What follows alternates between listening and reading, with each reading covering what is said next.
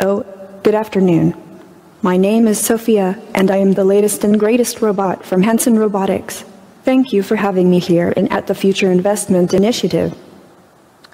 दोस्तों ए या machine learning ये एग्जैक्टली exactly है क्या और ये क्या हमारे लिए हार्मफुल हो सकती है दोस्तों बात करता हूँ सबसे पहले मशीन लर्निंग के बारे में क्योंकि मशीन लर्निंग एक पार्ट है एआई का एआई अपने आप में एक बहुत बड़ी चीज़ है तो ए, पहले मशीन लर्निंग के बारे में आपको बता देता हूँ एक्जैक्टली मशीन लर्निंग क्या होती है। मशीन से जब हम समझते हैं तो वो कैलकुलेशन करती है और जहाँ तक कैलकुलेशन के बारे में बात आती है तो मशीन डेफिनेटली ह्यूमन से हमारे काफ़ी आगे निकल चुकी है। आज की तारीख में हम एक लिमिटेड तक काउंटिंग कर सकते हैं हमारे ह्यूमन के अंदर एक मतलब अलग अलग दिमागों के अंदर अलग लेकिन जब कैलकुलेटर की बात करते हैं तो काफ़ी सारी गणनाएँ जो हैं वो मशीन काफ़ी फास्ट कर सकती है हमारे मुकाबले।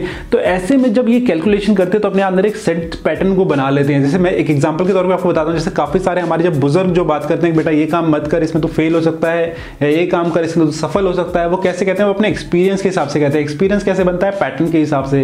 पैटर्न वो अपने दिमाग में कैसे बनाते हैं कि अच्छा ऐसा हुआ था पहले तो उसकी वजह से रिज़ल्ट अच्छे आए थे। तो इसी तरीके से वो हमारे को जो है सजेस्ट करते हैं। ऐसे ही मशीन भी हमारे को सजेस्ट करती है। कैसे मैं आपको एक एग्ज़ाम्पल के तौर पर बता देता हूँ। आजकल बड़ी बड़ी कंपनियाँ क्या करती हैं कि जब भी उनको कोई कैंपेन चलाना होता है तो उस पर वो पहले से मतलब कैलकुलेशन करके रखती हैं और जब वो मशीन के अंदर डालती हैं तो एक्जैक्टली वो मशीन बता देती है उनको कि अगर ये कैंपेन आप चलाएँगे तो उससे आपको क्या रिटर्न मिल सकता है? इवन फेसबुक और गूगल के अंदर तो बड़े आसानी से आप देख सकते हैं, जब भी आप कोई कैंपेन चलाएँगे तो आपको बता देते हैं कि इतना पैसे लगाने पर आपको इतना रिटर्न मिल सकता है, इतनी लीड आपकी जनरेट हो सकती है, वो कैसे हो रहा है? क्योंकि उन्होंने वो कैलकुलेशन करके रखी हुई है। तो एल्गोरिदम जो चल रही है पैटर्न जो देख रहे हैं, उसके हिसाब से वो सेट कर रहे हैं और रेगुलर उसको वो चेंज कर रहे हैं। हमारे ह्यूमन के मुकाबले उनकी कैलकुलेशन काफ़ी फास्ट फास्ट हो सकती है, हो सकती है क्या मतलब हंड्रेड परसेंट होती है। तो कैलकुलेशन के हिसाब से अगर बात करें तो मशीन लर्निंग जो है ह्यूमन से ऑलरेडी काफ़ी आगे निकल चुका है, जहाँ तक चाँद पे पहुँचने की मास पे पहुँचने की बातें हो रही है। कैलकुलेशन सारी मशीन लर्निंग के थ्रू हो सकती है, क्योंकि हमारी ह्यूमन हमारा माइंड इतनी तेज वो कैलकुलेशन नहीं कर सकता है। तो मशीन लर्निंग एक इंपॉर्टेंट रोल प्ले करती है ए के अंदर। अब ए की एग्जैक्टली अगर हम बात करें तो वो क्या है?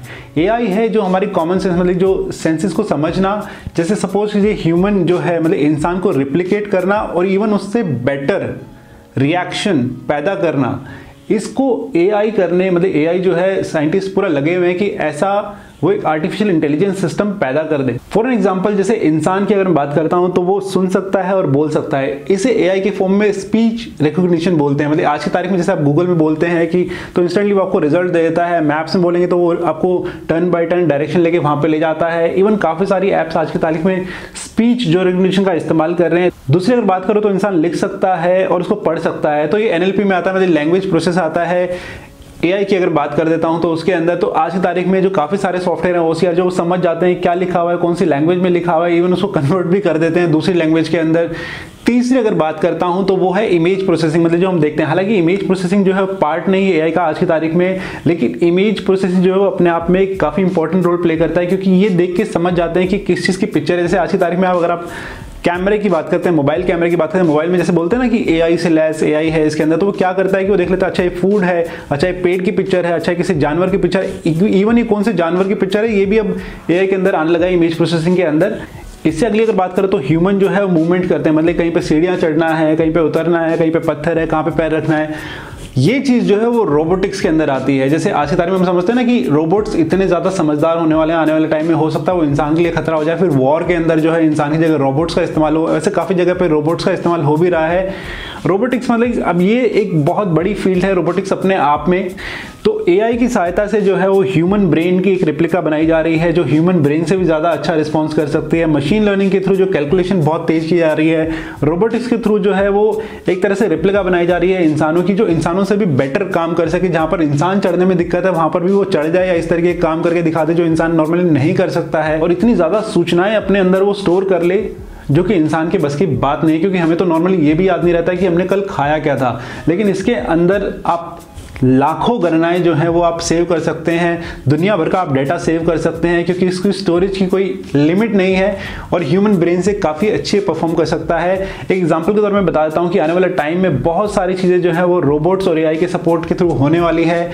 इवन गाड़ियाँ भी चलने वाली हैं इवन चलनी शुरू हो चुकी हैं गाड़ियाँ और पता नहीं क्या क्या होने वाला है दोस्तों। एक मैं एग्जांपल आपको देता हूँ, चाइना के अंदर एक स्टोर है जिसके अंदर आप एंट्री करेंगे, कोई इंसान नहीं है, आप एग्जिट करेंगे, कोई इंसान नहीं मतलब इवन जाके अंदर आप सामान लेंगे, जहाँ से आप सामान लेते हैं इवन इंस्टेंटली अंदर जो है ये सूचना पहुँच जाती है कि सामान जो है स्टॉक के अंदर कम हो गया है, वहाँ से चल के कन्वेयर बेल्ट के ऊपर वो सामान दोबारा लग जाता है। आपने जो उठा के सामान अपने कार्ट में डाला है, उसका बिल आपका कट जाता है, आपके फ़ोन वॉलेट मतलब जो फ़ोन है, उससे इंस्टेंटली बैंक से पैसा कट जाता है। आप जब बाहर निकलते हैं तो इन्वॉइस आपके फ़ोन पे आ जाता है। मतलब कोई ह्यूमन इंटरफेरेंस है ही नहीं। तो ये आर्टिफिशियल इंटेलिजेंस है। डेफिनेटली इसमें काफ़ी सारे लोगों की नौकरियाँ जा सकते हैं जो कि हार्मफुल की अगर बात कर रहे थे। कंप्यूटर से भी काफ़ी ऐसा नुकसान हुआ है। लेकिन जो लोग इस फ़ील्ड के अंदर अपनी मतलब इच्छाएँ रखते हैं कि वो इस चीज़ में जाना चाहते हैं, पढ़ना चाहते हैं डेफिनेटली उनके लिए तो रोज़गार की काफ़ी सारी संभावनाएँ हैं। तो अगर आपकी इच्छा है एआई के अंदर जाना या फिर मशीन लर्निंग के बारे में सीखना तो डेफिनेटली काफ़ी सारा आगे रोज़गार इसके अंदर अवेलेबल है। ये थी मेरी एक छोटी सी कोशिश। एक कम टाइम के अंदर आपको एआई या मशीन लर्निंग के बारे में थोड़ा सा जानकारी देना। अगर आपको इसके बारे में और भी नॉलेज चाहिए तो डेफिनेटली आप नीचे कमेंट बॉक्स में लिख सकते हैं। मैं पूरी कोशिश करूँगा आपको एक और वीडियो बना के डिटेल में इसके बारे में बताने के लिए। मेरा नाम है संदीप चैनल का नाम है डिजिटल इंडियन उम्मीद करता हूँ आपको वीडियो पसंद आया होगा। अगर आपको वीडियो पसंद आया तो डेफिनेटली लाइक ज़रूर कीजिएगा। चैनल को कर लीजिए सब्सक्राइब मैं मिलता हूँ आपसे जल्दी ही नेक्स्ट वीडियो के अंदर।